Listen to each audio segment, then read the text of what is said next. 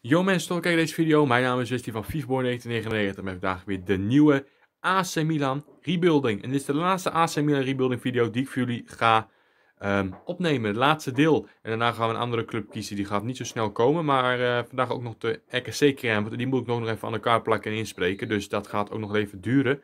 Ergens in de middag, namiddag rond uur 5, 6 komt de RKC crème. Deze dus nu uh, om uur of, even kijken hoe laat is het nu. Denk ik rond een uur of 12, half 1 komt deze online.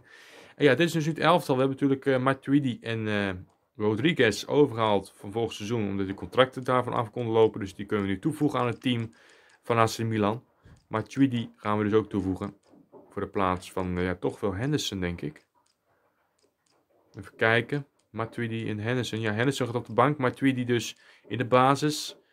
En deze doelman gaan we even eruit halen voor Hup, zo doen we dat. En hem dan in de verdediging. Savic in de basis. Hernandez voor Rodriguez. En dan zet het elftal tot nu toe. Even kijken, ja. Is wel even redelijk. En dan gaan we kijken um, wat we nog kunnen doen. Wat we erbij kunnen halen. Hoe we dit seizoen gaan spelen natuurlijk in de Champions League. Want we hebben de Champions League dit seizoen. Met AC Milan. Ja, we gaan natuurlijk ook wat spelers proberen toe te voegen aan de selectie. Als eerste gaan we proberen hier deze speler 10. Het is een uh, spits. We hebben een spits nodig. Uh, ja, Ibrahimovic is natuurlijk naar, gaat terug naar Milaan. Maar ja, die is hier al gestopt. Uh, dit bedrag van 31,8 ga ik niet accepteren. Ik vraag um, 25,5 voor deze jonge spits. 23 jaar. En uh, blijf op 31,8. Weet je, het accepteert gewoon. Maakt niet zoveel uit. Dan gaan we hem toevoegen. Een spits. Dus. En dan gaan we ook even kijken. Of we nog een andere speler kunnen gaan toevoegen aan onze elftal. Jonathan gaan we mee onderhandelen nu. Delegeren. Gaan onderhandelen. Ik ga delegeren. Ik heb geen zin om te onderhandelen. Even kijken. Doet gewoon dit. Dan zou hij wel accepteren. En dan komt hij dus waarschijnlijk naar de ploeg. En dan gaan we even doorsimuleren. Jullie zagen dat we 3 hadden verloren van Frankrijk met België. Ik ga ook gewoon de België weer afzeggen. Dus daar blijven we niet. Onze spitsen verkocht. Leao en Caldara ook. Twee spelers verkocht. Drie spelers verkocht. Zo. Savic gaat niet weg. Gaat niet naar Liverpool. En dat is dan uh, helemaal mooi van de Beek. Daar kunnen we mee tegen delegeren. Maar ja, dat ik jullie nu al vertellen. Van de Beek wordt niet geaccepteerd. Dat het salaris waarschijnlijk te laag is voor Donny van de Beek. Eh, Donny van de Beek. Van Beek, sorry. Donny van de Beek kom ik zo op. Want uh, we konden Van de Beek niet halen. Dus dan koos ik voor de andere Van de Beek. Donny. En dat gaan jullie ook zien in deze video natuurlijk. Hier heb hij het geaccepteerd. En, uh, hij komt dus naar de ploeg. De nieuwe spits dus van AC Milan komt dus naar ons spelen. En we gaan kijken wat er nog verder gaat gebeuren. We gaan het team dus aanpassen in de spits. Komt niet Piet Jack, of ja, Piet Jack. Komt nu Jonathan te staan. En dit is dan het elftal. Ik ga ook Castello eruit halen en uh, die speler weer terugzetten. Die is ook wel iets beter natuurlijk. Suso. En dan gaan we doorsturen tot de eerste wedstrijd. En die is tegen Juventus. Gelijk een wedstrijd. Hier zien we Donny van der Beek gaan we toevoegen aan de selectie van uh, Milaan. En dan gaan we wel wat spelers even kijken voor ruildeal. Henderson willen ze ruilen. En dan willen ze 26,9 nog wat erbij doen. Ik zeg doe uh, 21 miljoen en dan hebben we een deal. 20 miljoen voor Henderson plus Henderson. En gaat Ajax mee akkoord dus. Gaan we Henderson dus ruilen voor Donny van der Beek plus 20 miljoen. En dan gaan we gewoon even wel onderhandelen. Want ik wil niet het risico lopen dat hij niet komt. Donny van der Beek gaat dus uh, zich toevoegen aan uh, de mannen van AC Milan. Belangrijke speler. Voor uh, vijf jaar gaat hij proberen te komen naar Milan. Ja, wat maakt op zich toch niet zo uit, want dit is de laatste deel die wij gaan spelen. Jammer genoeg nee, jammer genoeg niet ver gekomen met AC Milan. Maar goed, laten we hopen dat we bij de vorige ploeg wel ver kunnen gaan komen. Hier zien we Donny van der Beek gaan ook in de, in de baas zetten voor, uh, ja, voor Rodriguez. Nee, voor Wijnaldum zeg ik in de basis. Hier de eerste wedstrijd. Met Van der Beek in de basis dus. En de nieuwe spits. En um, die um, verliezen we met 1-0. Ronaldo maakt de goal bij Juventus. Maar dat betekent wel dat wij de eerste wedstrijd verliezen. En dan gaan we gelijk door naar de tweede wedstrijd tegen Napoli. Die, spelen, die winnen we 3-1. Van de Beek, Rodriguez en Souso scoren de goals. Van de Beek met zijn eerste goal. En ook Rodriguez maakt zijn eerste goal voor Juventus. Eh, voor Milaan, sorry. En dat betekent dat we dus ja, één wedstrijd gewonnen, één verloren in de competitie. Het gaat redelijk tot nu toe. Uh, we gaan even nog kijken of we nog spelletjes kunnen gaan uh, zoeken. Even kijken. Virgil van Dijk proberen toe te voegen. Dat zal een hele grote stap zijn uh, met een speler die we dus gaan toevoegen aan de selectie. Virgil van Dijk. Samen naast uh, Ramonoli. Gamoli, hoe het ook wel heten. Um, dat zou hele mooie zijn. We hebben natuurlijk uh, veel transferbudget. te kunnen centrale verdediger ruilen. Uh, ik ga hem proberen te ruilen. Rachmanoli. En dan gaan we dan samen naast Savic zetten. Dat wou ik zeggen. Rachmanoli ruilen voor Van Dijk. Dan iets minder salaris. Of iets minder budget. 80,5. En daar gingen ze verrassend genoeg mee akkoord, Liverpool. Dat betekent dat we Van Dijk gaan toevoegen aan de, selectie van AC Milan. Dat zal dus samen met Savic in de verdediging gaan staan.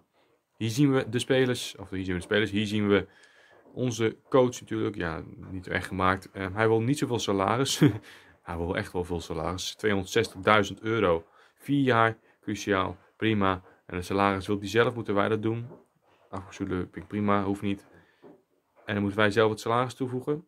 Nee, dat moet, ja, moeten wij wel doen. Oké, dan ga ik gewoon 260 doen. Plus dan nog uh, 100 teken uh, zooien, dus dat accepteert hij wel.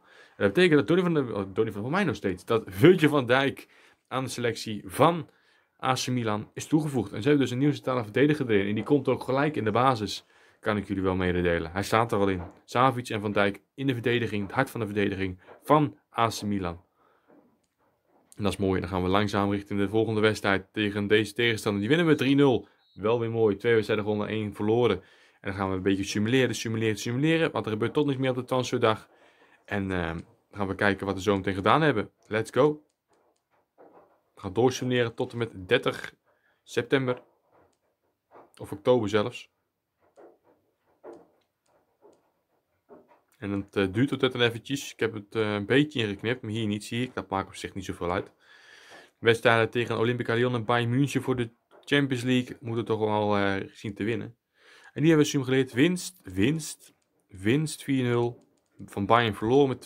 Verloren van Inter. Winst van deze gelijk tegen Olympica Lyon en winst hier. Dan gaan we de vorige stand is nu dus, we staan vijfde in de Serie A. Um, ik, ook, ik dacht, wij spelen Europa League. Nee, Wesley, we spelen Champions League. Dus je moest bij de Champions League kijken en niet bij de Europa League. Maar we zagen wel dat Feyenoord... Uh, even kijken. Feyenoord stond uh, verrassend derde. Zie ik daar. Even heel snel. Maar goed, we hebben dus Champions League, Wesley, en geen Europa League. Dus we gaan kijken. Staan derde in de Champions League. Um, met vier punten, gelijk met...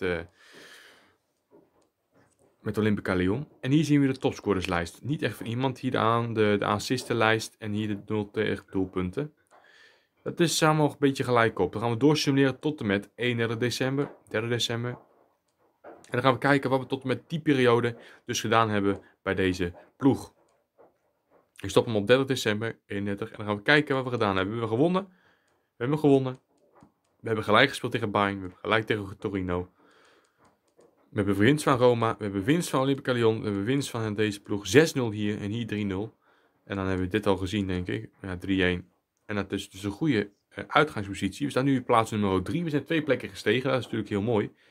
En ja, dan gaan we ook kijken hoe we nu in de Champions League zitten. Zijn we naar de volgende ronde? Ja, we zijn naar de volgende ronde van de Champions League. De laatste 16 tegen Tottenham Hotspurs. Dat wordt een moeilijke wedstrijd. Tottenham, AC Milan, Tottenham.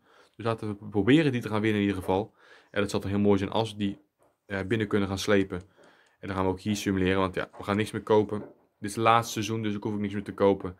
Uh, jullie denken ook van, het is misschien wel jammer, maar goed. Hier, we hebben het hier gesimuleerd en dan gaan we kijken wat we gedaan hebben in de beker. We hebben hier verloren van Napoli. Hier hebben we ook verloren van Napoli met 4-0. En hier hebben we, even kijken, gelijk gespeeld. Hier in de beker gewonnen natuurlijk.